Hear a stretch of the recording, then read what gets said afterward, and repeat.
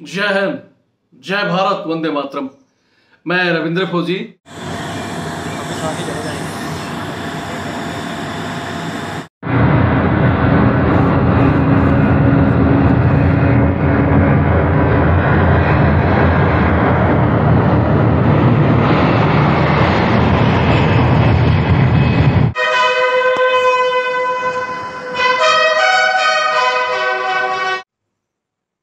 जय हिंद। जय भारत, वंदे मातरम। मैं रविंद्र फौजी आपको याद होगा कि अभी दो दिन पहले ही लेह में एक बस का एक्सीडेंट होता है और उसमें हमारे साथ जवान शहीद हो जाते हैं। उसके लिए हम ऑलरेडी पूरा देश श्रद्धांजलि दे चुका है। लेकिन आज कुछ सवाल खड़े हो रहे हैं कि भाई, उस बस के ड्राइवर पर एफआईआर कराई गई है। और जाँच पड़ताल जारी है, बहुत सी ऐसी सोशल साइटों पर न्यूज़ में ऐसी चीज़ें चल रही है। मैं यहाँ एक चीज़ कहना चाहता हूँ कि हमेशा गाज गरीब पर ही गिरती है। हो सकता है कि उस ड्राइवर की गलती हो या ड्राइवर का कहीं ना कहीं लिंक हो, लेकिन उस लिंक के अलावा और सवाल भी पैदा होते हैं। वो बस इतनी पुरानी थी, उसको पास किसने किया कि भाई वो रोड पर चलेगी। स्यूल में आरटीओ वगैरह ने उसको पास कर दिया, उसके बाद फौज में इसको किसने पास किया? जिसके पास भी अधिकार था कि जवानों के लिए जो गाड़ी आती हैं, जो हमारे अफसर साहिबान बैठे हैं, जिन गाड़ियों की चेकअप वगैरह करते हैं, वो कौन थे? क्या एक एफआईआर उनके ऊपर नहीं बनती है? क्या सिर्फ़ उस गरीब ड्राइवर के ऊपर ही एफआईआर बनेगी और उसे कोई दबाकर उसी को सजा दे दी जाएगी? दिखा दिया जाएगा। आतंकवादियों से मिला था, फलाना था। खाई में गिरते समय कूद गया। ये एक ह्यूमन टेंडेंसी है। कोई भी ड्राइवर हो, जब गाड़ी अगर ऐसी हालत में आती है तो ड्राइवर या तो उसको कटिंग करता है, या जम मार देता है। वो कोई अलग से उसको, ये नहीं कि उसका अकेले का दोष है। हर आदमी को अपनी जान बचाने के लिए ऐसा ही करता है। लेकिन सबसे पहले वो उस लोगों को ऊपर एफ़ करो, जिसने उस बस को पास किया हो। हमारे वो अफसर जिनको जिम्मेवारी मिलती है कि कार्रवाई के अंदर फिटनेस बसों का वो देते हैं, वो कौन है? ये जो सप्लाई में खासकर जो बैठे हैं, जो जवानों का राशन, सड़ी गड़ी सब्जियों को पास कर देते हैं स्टेप मारकर मरे हुए बकरों का और उनका मीट आ जाता है, मरे हुए मुर्गे आ जाते हैं, वो कौन लोग हैं? जो बैठे हैं ना, भ्रष्ट लोग, उनके ऊपर क्यों नहीं सरकार कार्रवाई करती है?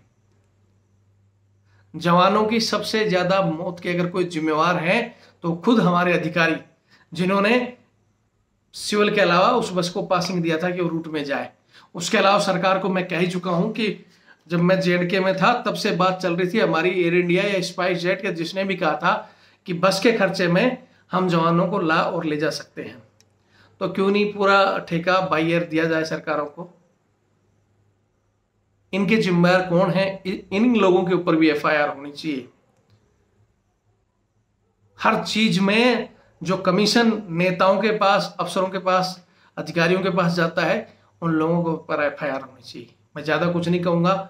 हमारे जवानों को कहना चाहता हूँ कि उनके साथ हर वो छुट्टी जाने और आने वाले किसी लोगों भी हादसा हो सकता है। कल न तुम्हारी भी इसी तरह मौत हो सकती है। अगर तुम इस चीज़ की आवाज़ नहीं उठाओगे तो।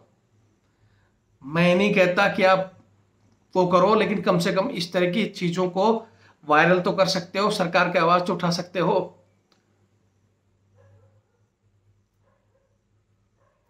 मैं ज़्यादा कुछ नहीं कहूँगा। उन जवानों को फिर मैं एक बार श्रद्धांजलि अर्पित करता हूँ, जिनका कोई दोष नहीं था, ड्यूटी पर जा रहे थे, और कुछ लोगों की गलती की वजह से उन लोगों की जान गई है। उन सभी जवानों को मैं श्रद्धांजलि अर्पित करता हूँ। और उनके परिवार, घर परिवार को इस सदमे के उभरने की शक्ति प्रदान करता हूँ। और बहुत सी बार हम जल्दबाजी करके जो फ़ोटो और ये जारी कर देते हैं, क्योंकि वहाँ से बॉडी आने में और घर वालों तक खबर पहुँचने में थोड़ा सा समय लगता है तो उससे पहले थोड़ा सा वेट कर लिया करो। बहुत जल्दी जो सोशल साइट पर यूट्यूब पर या इन पर डाल देते हैं वेट कर लिया करो।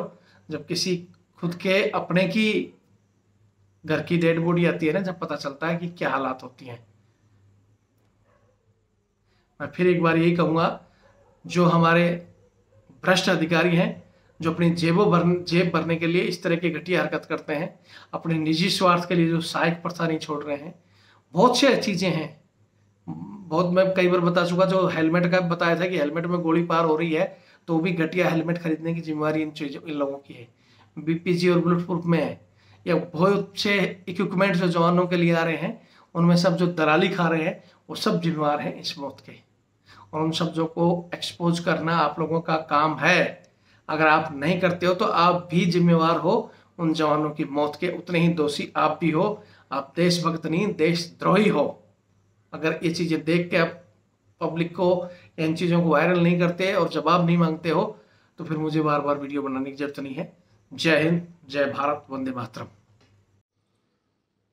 जय हिंद, जय भारत, वंदे मातरम। मैं रविंद्र फौजी। 上一点点。